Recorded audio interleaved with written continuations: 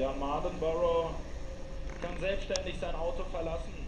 Das ist natürlich immer das Wichtigste, dass den Fahrern nichts passiert, aber einmal mehr zeigt dieser Unfall, wie sicher die Formel 3 Autos sind. Tom Blockfest Auto mittlerweile auf dem Abschleppwagen. Am Abschleppseil das Auto von Manns Grennhagen, auch ihm scheint da nichts passiert zu sein. Das Auto allerdings kalt verformt. Damit hat er der Mannschaft von Van Amersfoort Racing einige Überstunden aufgebrummt. Das fällt jetzt hinter dem Safety Car. Rosenquist vor Kwiat, Marcello auf der 3, dann Lukas Auer vor Latifi, John King dahinter auf der 6, Wolf, Tinknell, Derani. Da hat aber trotzdem Marcello die Nase vorn, Rosenquist ganz vorne. Das war nochmal der Dreher von Jan Mardenborough. Einer der einer der Pechvögel, die hier in den Unfall verwickelt äh, sind, sind äh, ist unter anderem Hans Grennhagen gewesen im weißen Auto, der als erstes in voller Wucht hier auf die 27 aufgefahren ist. Stefan Fuckert ist unten beim Teamchef von Van Amersfoort Racing. Ja, so sieht's aus. Und den fragen wir natürlich nach diesem Unfall beide Fahrer mit drin beteiligt gewesen. Wie haben Sie die Situation gesehen? Gerade gesehen auf dem Fernseher.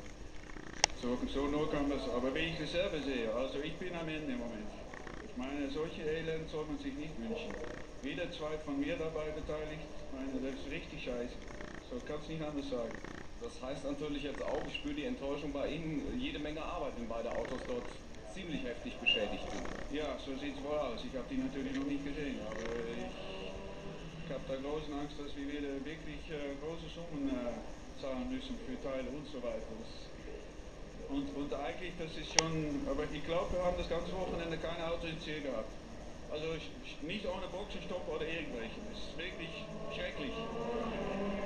Zumindest man kann jetzt bei dieser Aktion sagen, zum Glück, dass beide Fahrer unverletzt zurückkommen. Ich glaube, bei Maskenna ging irgendwie der, der Reifen noch vorne drüber.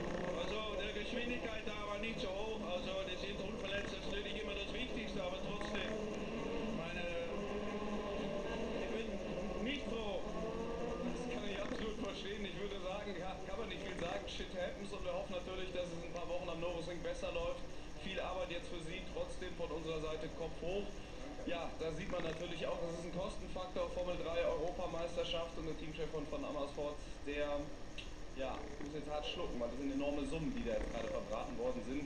Olli, du kannst das wahrscheinlich noch ein bisschen besser einordnen, was da jetzt auf das Team von Van Amersfoort wartet in den nächsten Wochen.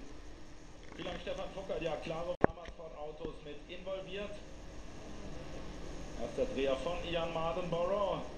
Das ist wirklich bitter, das ist Horror. Tom Lopez reißt sich da die Hinterradaufhängung ab, aber der steht jetzt da, kann nichts machen und sieht die anderen Kollegen auf sich zufahren. Allen voran Mans Grennhagen und auch Dennis Wandeler, der da nicht mehr aus, der da nicht mehr ausweichen kann. Safety Car ist auf der Strecke, Dennis Vandela ist mittlerweile unten wieder bei seinem Team an der Box angekommen und mein Kollege Stefan Puckert ist mit Mikrofon und Kamera dort. Ja, haben gerade den Teamchef gehört und jetzt wollen wir natürlich auch mal den Fahrer fragen, Dennis van der wie er diesen Unfall gesehen hat. Dennis van der uh, we saw the accident uh, in, uh, in the television. Um, maybe you could um, briefly reconstruct the accident from your point of view. And I was going into the, the first corner behind my teammate, and I saw my Marlboro spinning, and I was trying to avoid him, and then my teammate he crashed into him, and I could not avoid him. So yeah, a bit unlucky, but all because of the the bad qualifying on Friday. Because if you, if you if you have a bad qualifying, you are in the middle of the pack, and these things happen. Your team chef is really disappointed. It was a weekend without any car in, at the finish line, um, so a weekend to forget. Yeah, for sure. Uh,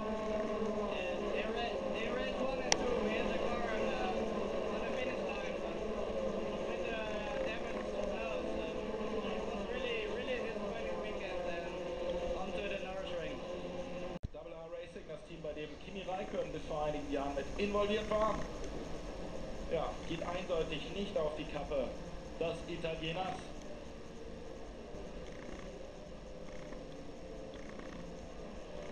kann die Startnummer des involvierten Fahrzeugs leider nicht erkennen, aber es sollte Eddie Jeever gewesen sein, die Startnummer 25. Einer der Prema-Piloten. Zumindest rutscht er gerade auf dem Zeitenmonitor von vorne nach hinten durch. Rauch heißt die Kurve und da gab es gerade dicke Luft, beziehungsweise wenn man diese Gesten sieht, da gibt es dicke Luft zwischen den beiden Fahrern, aber vollkommen zu Recht auch die sieben mit beschädigtem Frontflügel, auch Sven Müller, der Junge im Marco Indonesian. Wobei ich würde äh, ihm gar nicht unterstellen, dass er es absichtlich gemacht hat. Er kam da in so eine Senke rein. Das Auto sprang wieder zurück in Richtung Strecke. Da kann man nicht mal unterstellen, dass er reingelenkt hat.